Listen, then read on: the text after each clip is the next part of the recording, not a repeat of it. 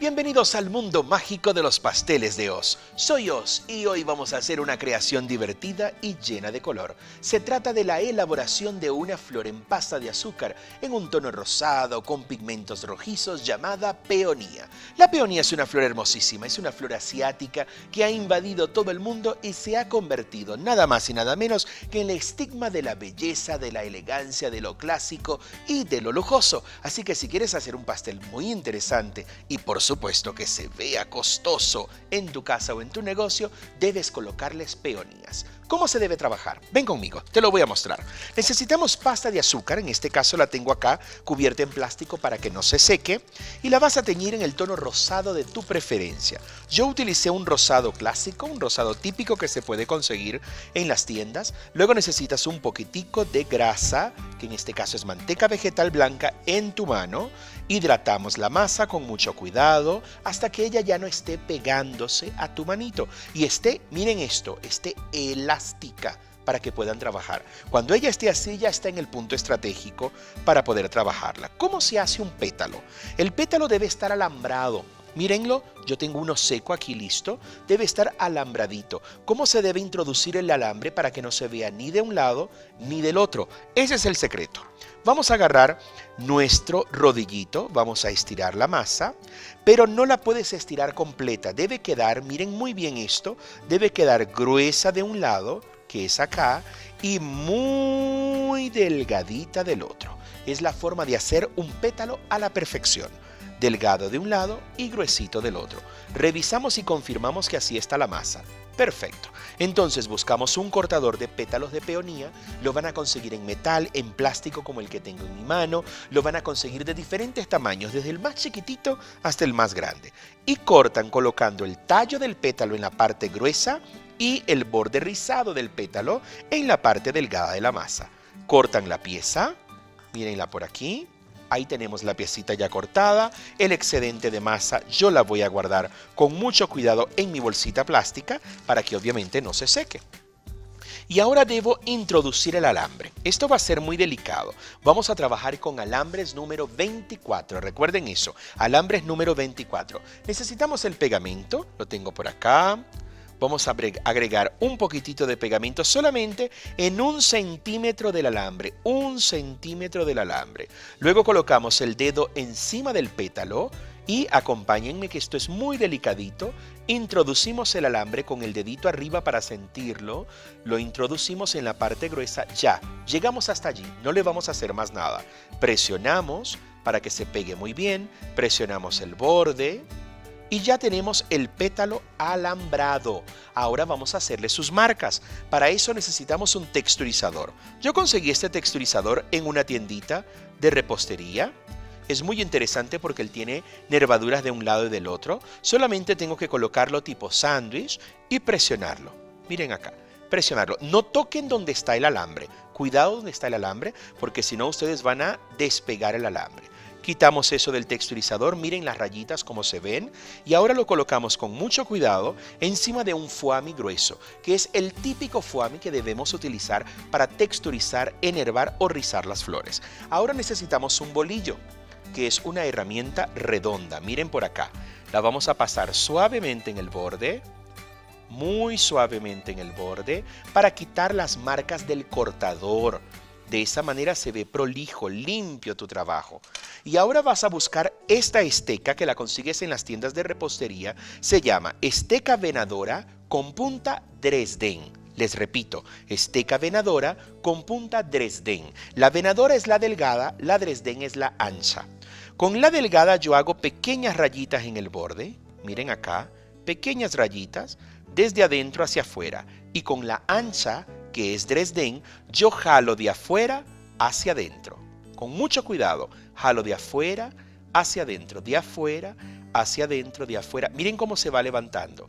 Con mucho cuidadito para que no se pegue. Si la esteca se pega un poquitito en la masa, ustedes le agregan un poquitito, un toquecito de grasa, aquí lo tengo, y le quitan su marca, de afuera hacia adentro, de afuera hacia adentro, de afuera hacia adentro.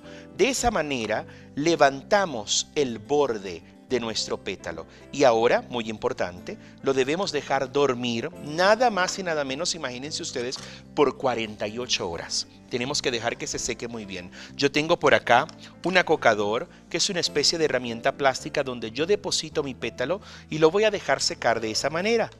De esa forma tenemos el pétalo seco dos días después, listo para ser pigmentado es donde le vamos a colocar el color. Como digo yo, es donde le vamos a dar vida a nuestro pétalo. ¿Cómo lo vamos a hacer? Bueno, necesitamos un poco de polvo de pétalo. Aquí yo voy a utilizar un poco de polvo de pétalo Borgoña, que es un vino tinto muy oscuro, y uno rojo escarlata. Necesito el rojo escarlata en el borde de nuestro pétalo. Miren por acá cómo lo voy a hacer. Voy a tomar un poco de polvo de pétalo, descargo y lo jalo de afuera hacia adentro con mucho cuidado, de afuera hacia adentro. Los polvos de pétalo, les cuento, son 100% comestibles. Son pigmentos en polvo de origen vegetal que los consiguen en las tiendas de repostería. Los pueden comprar por internet, por diferentes tiendas online. Lo pueden hacer tanto de un lado como del otro. Nunca pinten de adentro hacia afuera porque mancha la flor.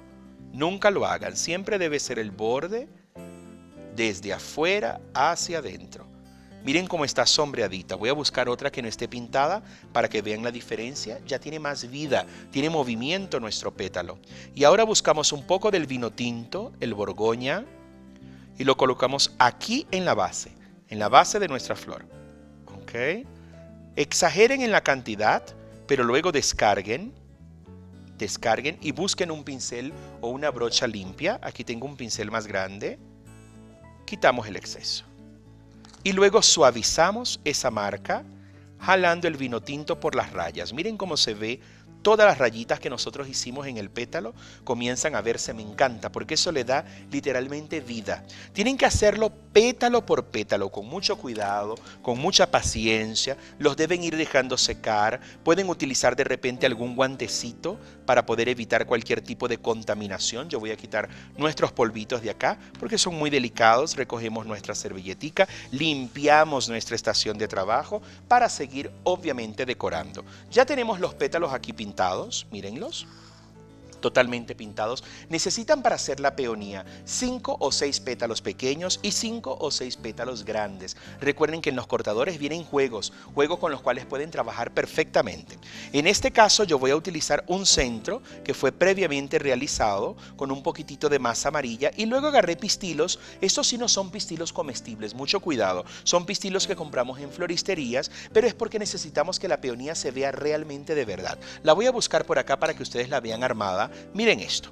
La peonía debe verse armada, así bien bonita, una flor elegante, es abierta, es familia de los tulipanes y se ve muy elegante en un pastel de boda. Así que pueden buscar sus pistilitos. Necesitamos los pistilos, necesitamos los pétalos de azúcar, necesitamos un trozo de alambre grueso número 18, aquí lo tengo, y necesitamos tape floral o cinta floral verde. ¿ok? Con esta cinta floral nosotros armamos toda nuestra flor. Voy a romper aquí un poquitito. Esta cinta es bien resistente, así que voy a cortar. Muy bien. Me gusta, me gusta cuando trabajamos con materiales así tremendos. Colocamos el centro, miren lo que vamos a hacer. Entorchamos, entorchamos. Háganlo hasta abajo, sin temor alguno, para que eso esté bien presionadito. Luego colocamos los pétalos pequeños. Pueden hacerlo uno a uno o pueden ir colocando uno, colocando dos, los van entorchando. Me gusta colocar siempre tres pétalos primero, como para crear la base de mi peonía.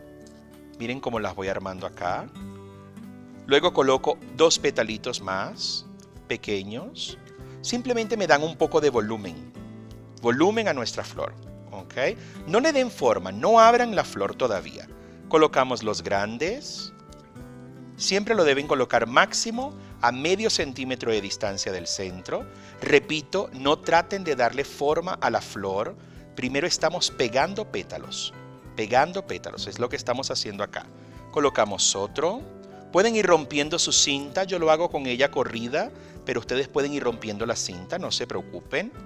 Colocamos otro, Básicamente la peonía es una composición de varios pétalos que rodean el centro, así que no se preocupen en el sentido de cuál es la forma, debo colocar uno aquí, uno allá, dónde va. No, ellos están alambrados, están secos y ustedes después de listos los pueden armar como quieran, a su antojo, sin ningún problema. Ya pegué el último, ahora volteo mi flor y miren lo que hago. Entorcho todo, todo, todo, con bastante cuidado. Muy bien quito el exceso y ahí sí la voy a armar. Acompáñenme por acá. Voy abriendo pétalo por pétalo, pétalo por pétalo, para darle la forma que yo quiero a mi flor. Aquí la tengo. Es muy sencilla, muy muy sencilla. La dejamos de esta manera, le podemos colocar polvitos brillantes, la podemos hacer en tonos diferentes, de los tonos que tú quieras, para poder decorar y para que quede muy interesante tu pastel. Ahora les voy a mostrar cómo colocarlas en el pastel. Eso es también es una parte interesante porque a veces las personas solamente agarran las flores, las clavan en su pastel y resulta que aquí hay alambre. Hay cinta pegante. Esta cinta verde no debe hacer contacto con la torta. ¿Cómo debemos hacer? Por aquí tengo mi tortita, modelo, pueden usar cualquier tortita, eso no hay ningún inconveniente.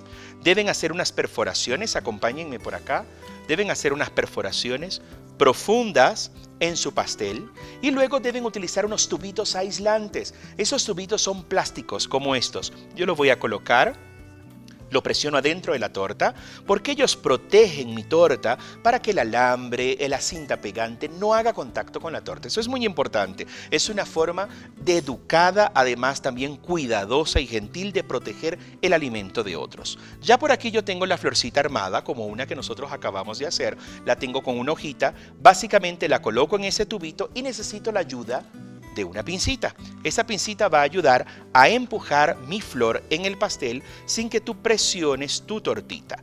Lo hagas con mucho cuidadito, mucho cuidado por favor. Eso es. Presionando.